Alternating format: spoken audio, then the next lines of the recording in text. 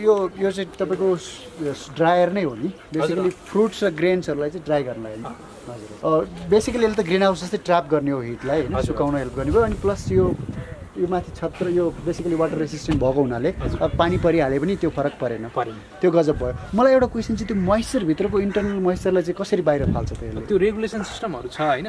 जस्तो अब केही केही कुरा सुकाउनलाई एउटा टेम्परेचर पनि चाहिन्छ होइन? अर्को भनेको मोइस्चर कन्ट्रोल गर्नुपर्छ क्या? जस्तो त्यो मोइस्चर कन्ट्रोल ढुसी पर्छ फेरि होइन? ढुसी पनि पर्छ अनि सुक्दैन। सुक्दैन। सुक्दैन। अब गर्मी छ मोइस्ट छ भने सुक्दैन सामानहरू होइन? त्यो मोइस्चर पनि कन्ट्रोल गर्नलाई चाहिँ एउटा मोइस्चर कन्ट्रोल सिस्टमहरू छ क्या। भित्रको एयर भेन्टिलेसन गर्ने होइन?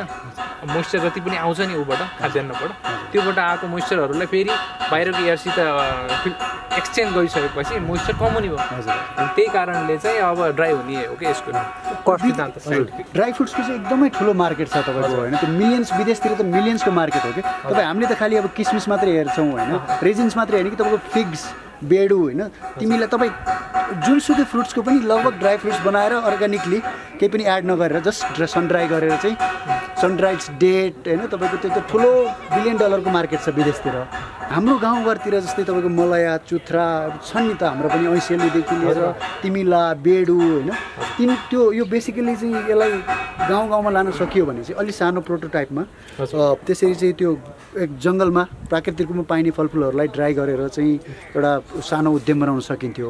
मेरो प्रश्न यहाँनिर चाहिँ एउटा साना किसानहरूले एउटा सानो युनिट यो गर्नलाई चाहिँ उहाँहरूलाई कस्ट कति लाग्ला र राष्ट्रिय आविष्कार केन्द्रले त्यसमा के मद्दत गर्छ त? त्यो बनाउनदेखि लिएर सबै सपोर्ट उहाँलाई सेटअप गर्न।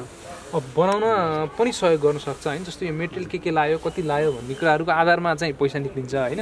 त्यो एक्ज्याक्टली भन्न चाहिँ अहिले सकिन्न तर यसको मेटेरियल कस्ट नै लिने हो। ए हजुर। प्रायः सकेसम्म। अहिले किन भन्दा यो पाइलटिङकै अनि यो भेरियस साइजमा पनि छ नि? भेरियस साइज छैन अहिलेलाई यही साइज यही स्ट्रक्चर नै हामीसित डिजाइन छ होइन?